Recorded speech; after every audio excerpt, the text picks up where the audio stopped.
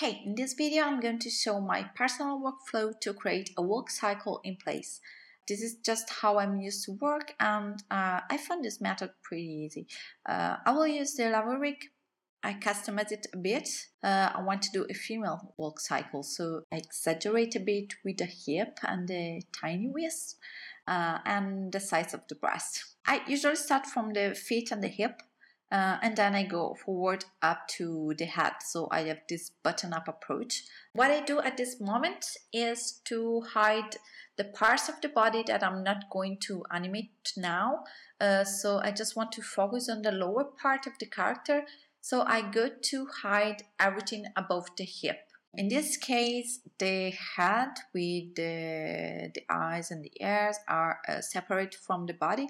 So I just select the, um, the geometry and I create a layer that I will go to hide.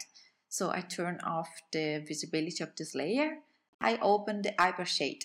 On the hypershade, I create a new material, um, just a Lambert. Uh, then I put uh, the transparency on this material. Then I select all the all the faces that I want to hide and assign this new material. Okay, so all the upper part of the body is high. Now I can focus on the lower part. Another thing that I usually do is to assign two different colors to the legs. In this way, I visually have an instant difference between left and right. Uh, and it's more easy for me because I go to animate one leg at a time. Uh, so uh, these two colors help me to be more focused uh, just on one leg, on the ones that I need to watch. At this point, I decide the length of the cycle I usually use around 31 frames for this kinds of walk. So let's set the, the timeline 31. And so now I can start to set the main poses, the keyframe poses for the blocking. At frame 1, we start with the contact pose with the right leg leading. So uh, I move the right leg uh, forward in front of the body. Um, it's a contact pose, so the heel have to touch the ground. So I rotate the foot in this way and okay, so the left foot is behind, so it's bended a bit. Uh, it still touches the ground so uh, that the body is well balanced, but uh, not completely. I mean, it's a little bit banded.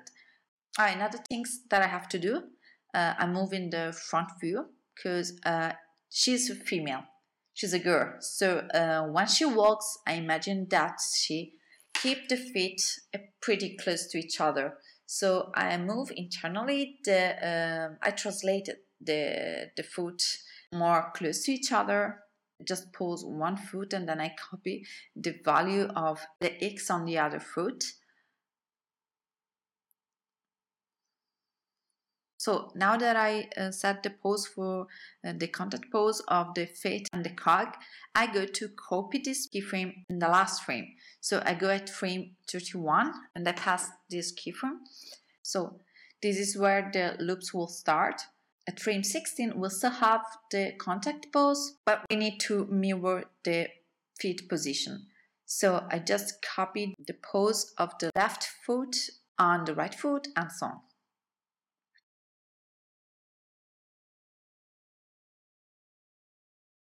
Then I go to set uh, just the curve on Z of the feet in linear. This is very important, uh, especially for the part where the feet touch the ground. And for the moment, I keep all the other curves in spline. At frame 3, we go to put the down pose, the recoil pose. Uh, this is the pose where the body reaches the lowest position. So we move down the hip. This is the moment where uh, we feel the weight of the character. In this case, it's a slim girl, so she's not very. Uh, I just move a bit the body, not too low. Uh, just I don't want a huge up and down for her. The leading leg now touch completely the ground. Um, so I adjust the rotation and the leg behind it's really close to leave the ground. It touches just with the toes. Let's move forward to the passing pose. Uh, I usually create two key poses for the passing pose. uh, one close to the down position and the other one uh, more close to the contact pose. So I start with the second one because this is the moment where the hip or the calf have the highest position. And for the left foot, that now is the leading one, I copy the position of the pose at frame 16. At this point, I want a little pause uh, in the movement. So I reduce the spacing in the passing movement that will start fast and go slowing down. Okay, so I've done the uh, passing pose at frame uh, 12.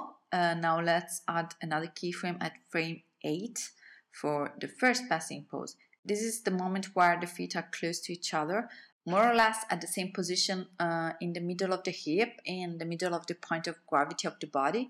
Uh, keep attention to the position of the feet because if you do wrong this pose, you lose the balance of the walk. So it's very important to keep attention to this pose and well balance the, the feet position. Uh, okay, so we have all the key poses. Uh, let's mirror in the other half of the walk. So now I uh, set uh, the tangents for all the controls in stepped mode.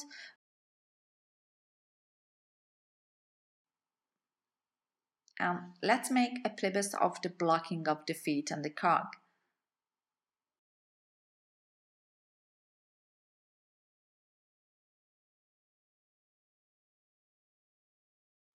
The timing is okay. Uh, the feet works pretty well. Uh, now I want to add the hip movement. Uh, this part of the body will help me to do a very feminine, sinuous and sexy movement. So I exaggerate with the rotation. Uh, the hip will rotate in the opposite direction of the leading foot. Uh, I will also add the translation left and right. Um, the hip uh, have always to be translated on the foot where we have the gravity. So when this leg is in the air, uh, I translate the hip on the other foot that touch the ground. So in this way, you go to balance the walks so that the characters don't fall. So uh, to have a sort of sassy uh, and accentuate uh, left and right movement of the hip, we have to uh, play with the spacing. Uh, I got to slow down the rotation and translation up to the contact pose uh, when the leading foot touches the ground.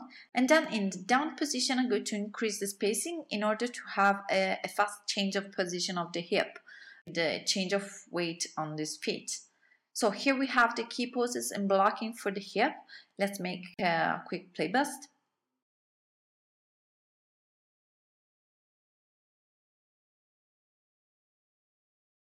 Okay, I'm fine with that. So uh, at this point, uh, the lower part of the body is done in blocking at least.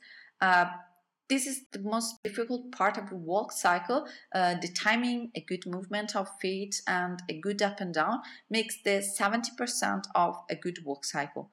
If your rig have some deformers for legs and arms, use them really. Uh, they really help you to adjust the shapes and the arcs and I'm usually pretty sad when I don't have this kind of control in a rig because it's really useful. Uh, so if you have it, just use them. Uh, now I go to refine this part. Uh, I could continue with the blocking of the rest of the body, but for time reason and also because uh, I have clear in mind how it has to look like, I'm okay with just the blocking of the lower part and I can go uh, directly animate the rest in spline.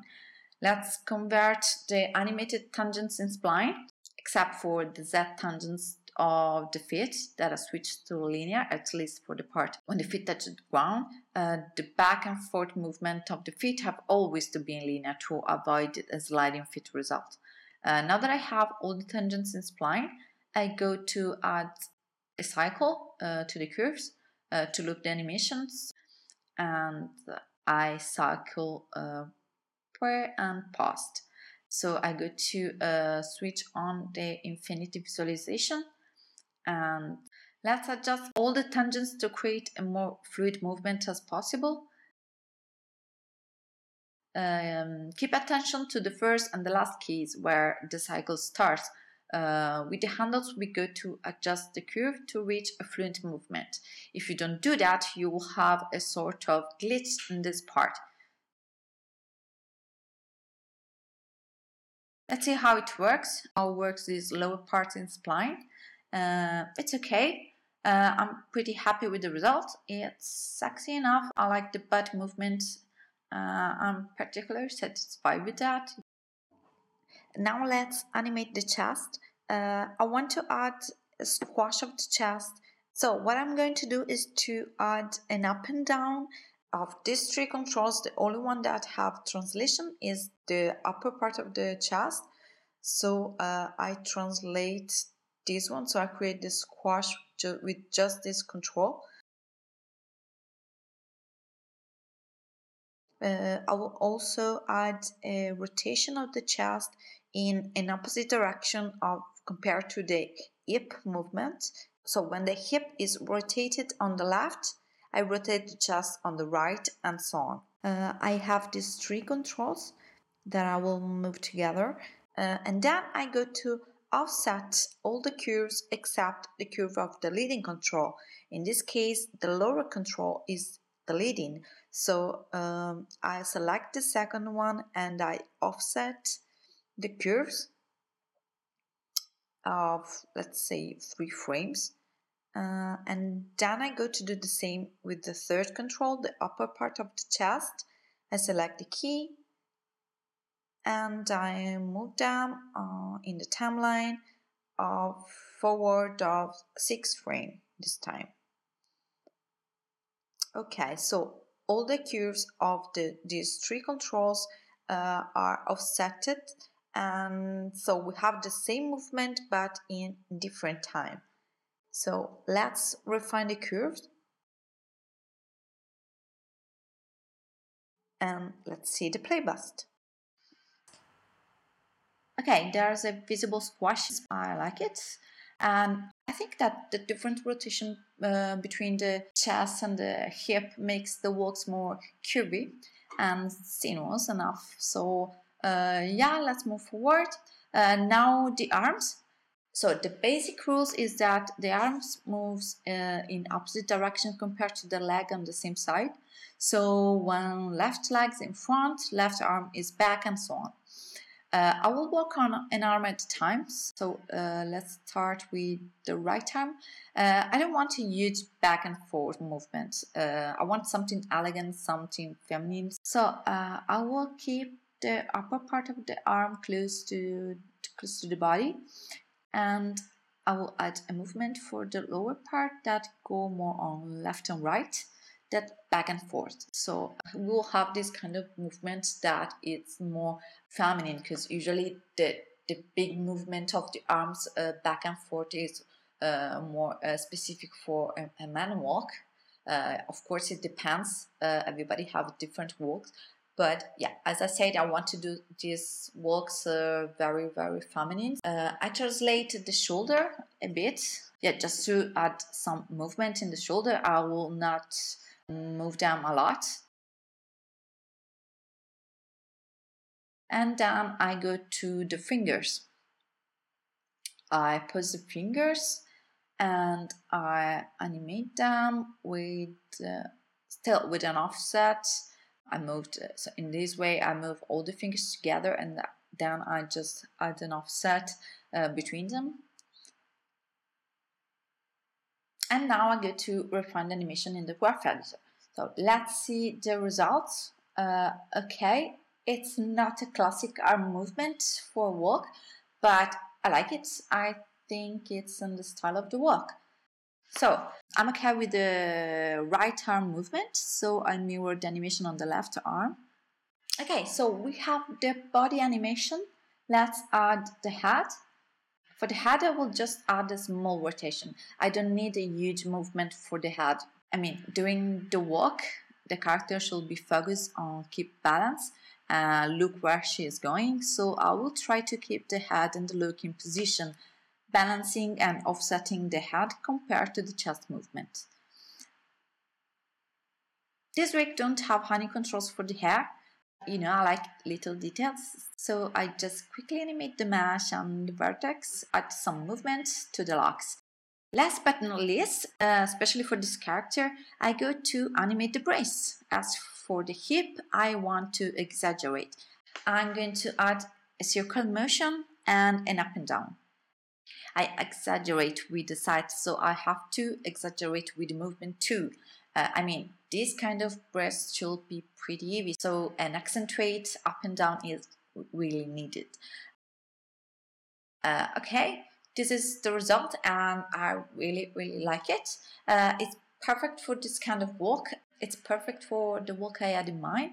It's sexy and squishy enough. So now the walk is done. If you have a rig with other details like clothes or props, animate them. These little things really helps uh, for the sense of weight and to make the walks, uh, you know, more fluid and interesting to see. Uh, I hope you liked the video and I also hope to help be more clear as possible. Walk cycle are not easy, so the only things to do is practice. Uh, I think I will create another video for a run cycle, so say yeah.